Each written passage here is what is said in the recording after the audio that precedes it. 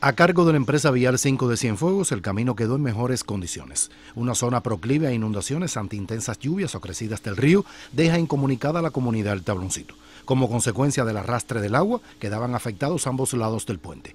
Con varios años dentro de los planteamientos de los electores a su delegado, se soluciona de una vez la fundición de la parte más dañada del vial. Se emplearon 192 metros cúbicos de, de hormigón donde el trabajo realmente que llevaba era este porque se habían hecho otros trabajos de asfalto frío, eh, asfalto caliente, de todo tipo de trabajo y lo que va a haber una fundición como la que como lo merece ese pueblo del tabloncito. Luego de varios intentos por mejorar el terreno, logran cubrir con cemento más de 15 metros a ambos lados, aún pendiente por concluir otros tramos que también presentan dificultades. Nosotros tenemos que seguir mejorando todavía todos los accesos como ya lo hemos hecho allí en el tabloncito, como se hizo una inversión de 5 millones eh, de pesos del agua que no habían tenido agua específicamente directo desde el canal de, de acá de, de la de la sidra hasta la población donde hoy está satisfecho toda la población también con esto. Es un barrio de que ahora en el año 2023 continúa como barrio vulnerable de otras tareas que tenemos ahí de rehabilitaciones de vivienda. Allí se concluyeron cinco inversiones de vivienda también. Fueron más de 190 metros cúbicos de hormigón que fundieron.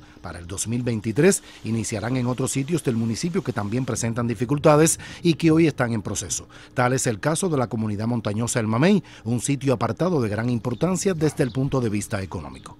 Desde Cienfuegos, Guillermo Martínez López, Sistema Informativo de la Televisión Cubana.